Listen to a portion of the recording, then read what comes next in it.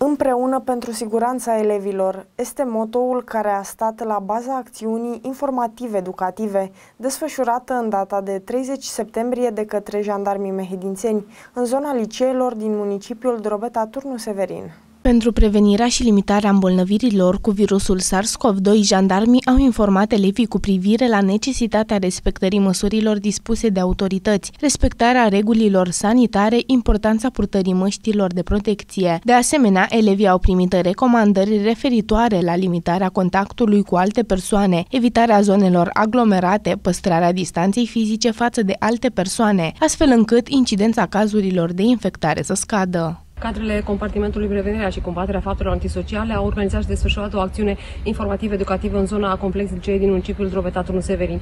Jandarmii au adus în atenția elevilor uh, reguli uh, referitoare la uh, măsurile privind limitarea îmbolnăvirilor cu virusul SARS-CoV-2, necesitatea aportului măștii de protecție, respectarea distanței fizice față de alte persoane, precum și evitarea zonelor aglomerate. De asemenea, pentru prevenirea delinvenței juvenile, Jandarmii au vorbit cu elevii despre adoptarea unui comportament civic bazat pe respect reciproc, respectarea regulilor de conviețuire socială pentru prevenirea aspectelor de agresiune în școli. Astfel de acțiuni vor avea loc uh, și în perioada următoare în toată zona de responsabilitate în instituțiile de învățământ gimnazial și liceal din județul Mehedinți. Activitățile de acest gen vor continua și în alte instituții de învățământ gimnazial și liceal din județul Mehedinți.